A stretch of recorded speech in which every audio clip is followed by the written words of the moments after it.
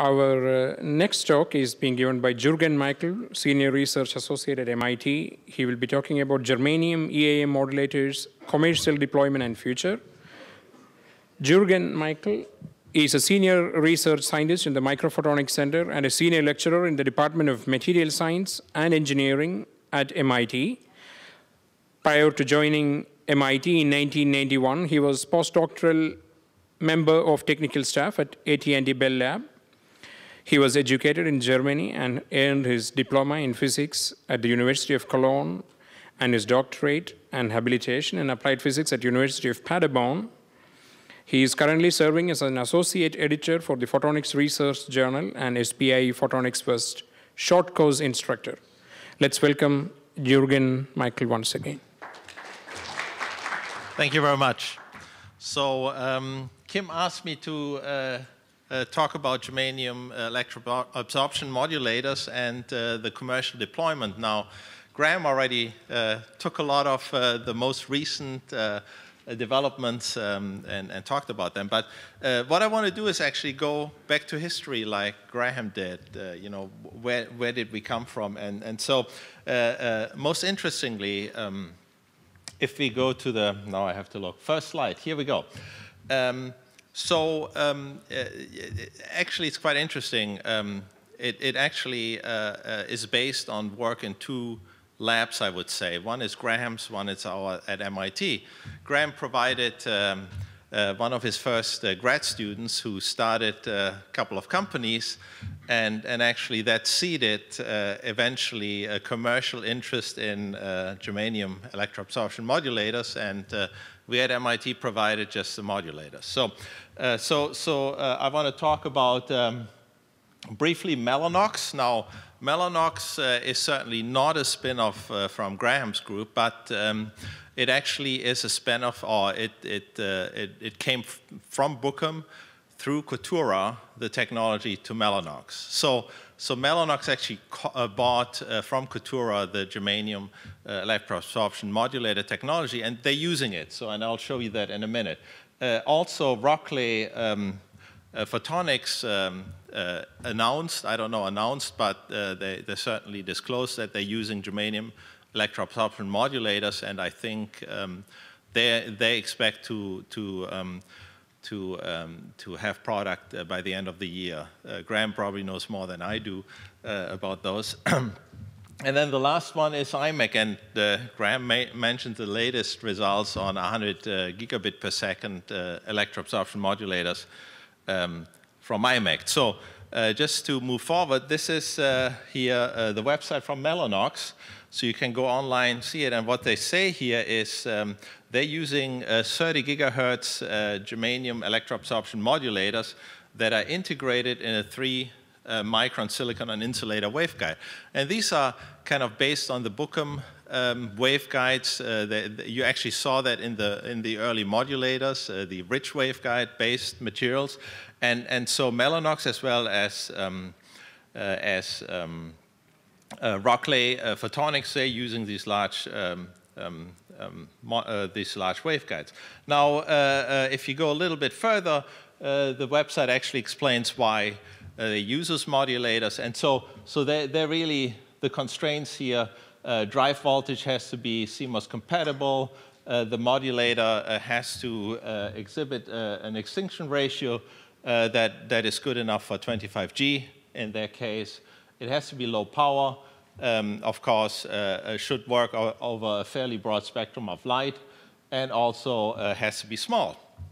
And so that's why they decided on a germanium uh, electroabsorption modulator uh, that's driven by the Franz Keldysh effect. So, um, and, and uh, so, so actually the work that we did, and, and just a few words about electroabsorption modulators. As Graham mentioned before, they're really very low power devices because you don't have to inject carriers. You just move charge. And that can be done much faster at much less power. And essentially, it, it explains it here. This is uh, essentially the direct band gap of germanium. We ignore the indirect band gap of germanium here because uh, this essentially uh, add, just adds uh, to the um, to the um, uh, to the insertion loss. So it's kind of a loss that's there. But uh, we are very interested in the direct band gap. And so what you do is when you apply uh, uh, a, a, voltage here, you, you actually bend the bands. And so if you look at the overlap of your wave functions here, uh, you see actually as you apply a higher voltage, you have a much higher overlap. That means that you actually get absorption. And so uh, in our early uh, estimates, uh, we projected that you get above 50 gigahertz uh, uh, for those electro absorption modulators, and also that you get to very low power consumptions. And so um, we predicted well above 50 gigahertz. Uh, we know now that we are probably at 80 gigahertz or so. And so this is uh, really encouraging. And uh, this is probably one of those modulators that's still um, CMOS compatible where you can actually go to that high speeds. So what we did uh, at the time, we actually choose a butt coupled design. So we have here, we coupled from a silicon, crystalline silicon waveguide to a, a, poly, a polysilicon waveguide, and then butt coupled into our germanium uh, electroabsorption modulators. And, and I think this is this is the most tricky part that uh, people have to uh, solve in the design is to actually keep the insertion loss low. And, um, and so the coupling loss uh, is, uh, is given here in, in our design at about 1.7 dB. Uh, the indirect band gap loss is, is about 2 dB. And that, of course, depends on the wavelength. So this is for 1550 nanometers. And so you see here, uh, this is what, what, we then simulated. And so uh, we have a good, very good coupling in and out of the uh, modulator. So, so actually, I should say here, we added uh, less than a percent of silicon uh, to the germanium in order to shift the band gap to that we can actually then have 1550 um, um, uh, uh, operation wavelengths. And so you see here, I just want to talk about this center graph here. So you see here, this is extinction ratio and insertion loss versus wavelengths. And so you see here, um, you, you, have here uh, at about 1550, you have the onset of the direct band gap, so then you get more absorption. Uh, you, you, you, get actually very good extinction ratio uh, at about 1540 uh, or below. This is uh, about 10 dB.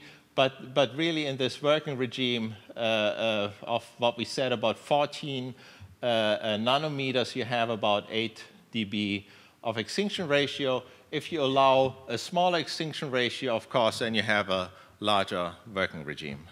So, so what we what we then did, we actually processed and made those. Actually, they were they were done uh, at uh, the BAE fab in Manassas, um, and so unfortunately, we only got 3 dB uh, frequency of about 1.2 gigahertz, and the reason was just uh, that that we had a process step that was uh, that was that didn't work, so we have a very large series resistance. Uh, otherwise, uh, uh, the, the devices worked as, uh, as, expected, so we have a very small capacitance. The capacitance was 11 femtofarad, and, and this is kind of what you expect for this type of devices. It's, it's essentially capacitance limited, and that's also what limits, uh, limits your performance in, in speed and also uh, drives the power consumption. So here's now, uh, this is uh, what I took from literature. I don't have the latest data, so this is the IMEC approach. Um, I should go back actually just quickly and point out that what we did in our design, we had a top to bottom uh, uh, EA modulator. So we have on the top N-type, because uh, the, the N-type dopants uh, diffuse very fast through germanium. So we have P-type on the bottom, slow di diffusers, and then N-type on the bottom, so it's very easy to activate those.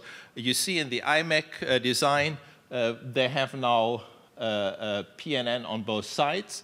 Uh, that uh, reduces somewhat the, um, the, um, the dark current because threading dislocations go this way, you have no threading dislocations going this way. it may make the processing a little bit more complex, but uh, you see here on the right, so uh, they easily get up to uh, 50 gigahertz, and, and these devices probably even went further, uh, but they also they couldn't measure. I think that's one of the big problems. Go to 100 gigahertz, and it's very, very difficult to measure those, uh, those um, uh, frequencies. The other approach, and that's now Kotura's approach, so here an example of Kotura's device, so they have these very large rich waveguides. Uh, they're very low loss, and they couple into a germanium modulator. Uh, they, uh, uh, similar to IMEC, uh, they actually have side-to-side -side, contacts, PNN here in the germanium. And, and for those devices, they went above 30 gigahertz as well. You, you, the, the power consumption is, of course, higher because the capacitance of those devices is higher because they're just larger. So to look at an overview, and this is uh, uh, an IMEC paper. Um, so this work is actually, this is the IMEC work, uh, uh and, and uh, same devices as I showed you before from IMEC.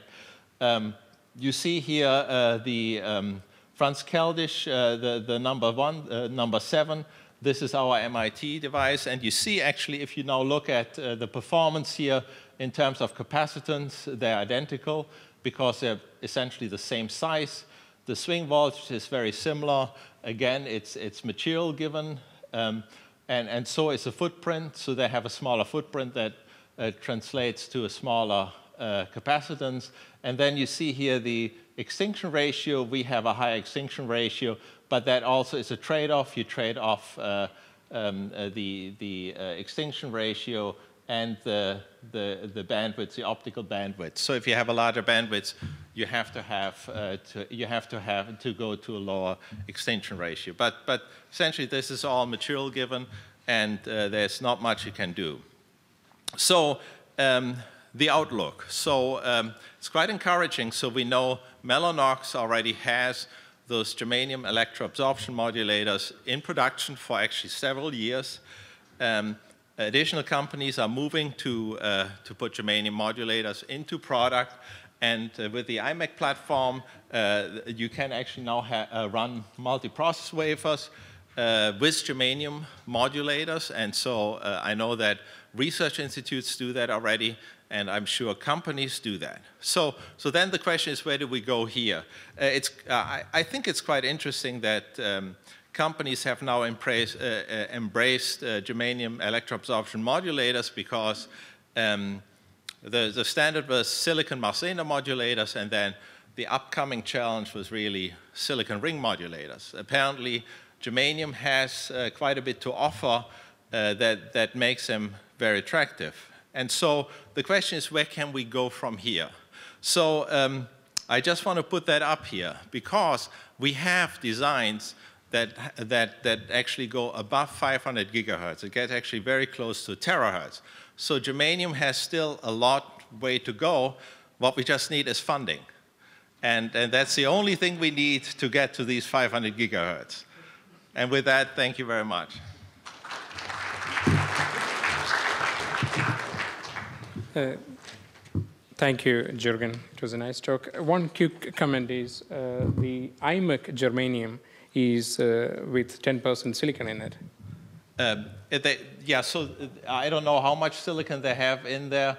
Uh, they, they have to put a few percent silicon in there in, in, the, uh, in, in order to shift the band so that you actually get to, I don't know what wavelengths they have here. Uh, I didn't closely look, but they're, they're actually, this is 100% germanium where you see you get out to 1630, right? So uh, that's why we put 0.7% silicon into our germanium to just shift the direct band gap to where we want to have it.